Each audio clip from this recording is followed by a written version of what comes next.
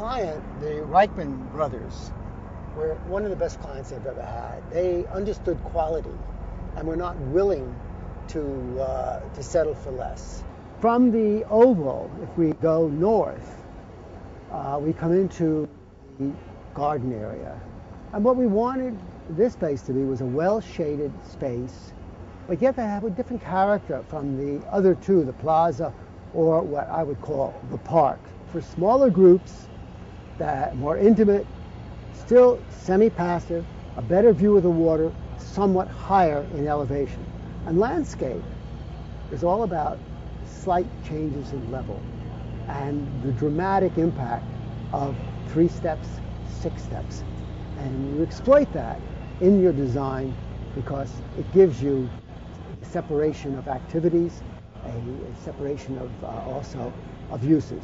And not well, uses and activities, separation also of experience. This idea of changing grade uh, see of, of grade changes in, in, the landscape as a means. We have no mass, for instance. We have no volume. We have trees, and yes, you could call some of them, you know, uh, as you know, elements of mass, but nothing to compare with what the architect works with. When we were dealing with this, we knew we had a basic issue to, you know, that we had to solve. If there was going to be a dining terrace, how do you keep the activity of the promenade, which is intense, from the dining area and yet not obstruct the dining area from the, what is the most dramatic view in the entire complex, the one that looks into the harbor itself and the Statue of Liberty. To do that, we introduced, we did studies of a water source, and we've come up with, we came up with a linear fountain that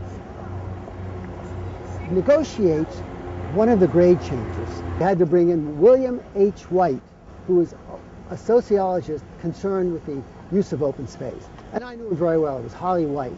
So I brought Holly in to analyze the design with the intention that I knew he would criticize the particular approach that Scott had taken.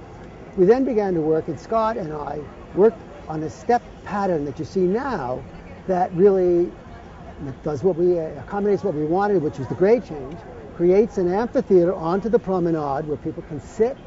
And then we can, and Scott came up with these pods and steps that, again, populate and animate the step and brings the stairs out into the space itself. Now, this is mainly Scott's work with the uh, torchère, which is a element that exactly at dusk, it is computerized uh, and base, he, I'm trying, uh, is a is, takes off of a, a Victorian sitting arrangement. And to the right of it is another linear bench, same vocabulary, and those are basically Scott's ideas. Siah, who is somewhat more intellectual, took the railing and introduced into the railing poetry, uh, two uh, pieces of poetry, lines, single lines, and they again animate the railing. At night, when the sun goes down and you get the this, this space is sort of due west, you get some incredible sunsets from here.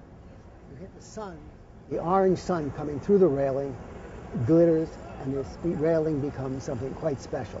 So here is where art, in both cases, art, you know, can be infused into the landscape in detail, and yet not lose its purpose. That there is no, there's a seamless relationship between the art and the full landscape. And this is what the intention was, is to find a base, a way of mediating between these two disciplines. And this relationship, we feel we've managed to do that. This entire area was designed well after the, the, the, uh, the rest of the uh, development had been finished and we studied how we could get to the water, and it was we had to cut through the bulkhead and do a number of other quite extensive revisions. But what it does give us is a, a different sense in the relationship. Again, we're talking about uh, you know approximately six steps closer to the water, and that but that six steps in two in two sets of three has a really gives you a dramatic relationship that you don't get from the promenade. It separates you from the promenade brings you closer. Although you're not really at the water, you get the sense of it.